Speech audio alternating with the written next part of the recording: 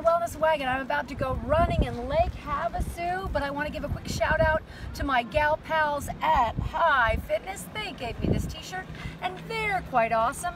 Try out their program. It is all about high impact aerobics and I love it.